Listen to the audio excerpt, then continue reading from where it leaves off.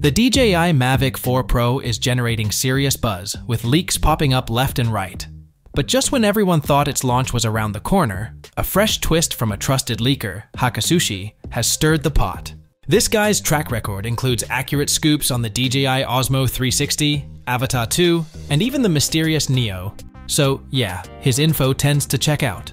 And this time, he's claiming some groundbreaking features for the Mavic 4 Pro that might just shake up the drone world. We're talking about an internal electronic ND filter and dual native ISO, features that could put this drone in a league of its own. Now, let's dive into the rumored specs, because there's a lot to unpack here. On the imaging front, the Mavic 4 Pro is rumored to sport a 4 3 inch CMOS sensor with a massive 100 megapixel resolution. The 28mm lens comes with an adjustable aperture range of f2 to f11, giving creators more control over depth of field and exposure. What really stands out is the stepless electronic ND filter with a range from 4 to 64, offering smooth and precise control over light exposure. Pair that with dual native ISO levels at 400 and 1600, specifically optimized for D-Log profiles, and you've got some serious dynamic range to work with, 14 stops to be exact. Oh, and there's something pretty wild, a Hasselblad 10-point starburst effect.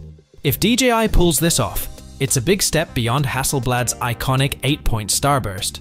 For video, the Mavic 4 Pro is rumored to deliver 6K HDR footage at 60 frames per second and 4K at 120 frames per second for ultra-smooth slow-motion shots. These capabilities should cater perfectly to both cinematic creators and content pros looking for flexibility in post-production. Then there are the flight and hardware specs. This drone might come with a 95.3 watt-hour battery, offering a crazy 52 minutes of flight time. It's backed by a 240 watt charger for quick recharging, so downtime is minimal. The O4 video transmission system is expected to boast a 40 kilometer range and the whole package weighs in at about 1045 grams, making it surprisingly portable for the tech it's packing. Now, let's talk practicality.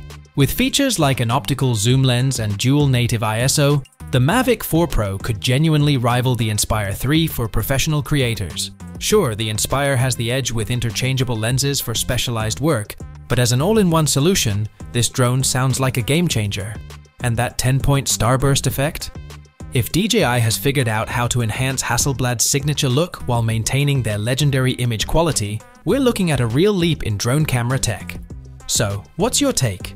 Do these leaks feel legit, or is this just a drone fanatic's wishlist? Let's hash it out in the comments. Peace out.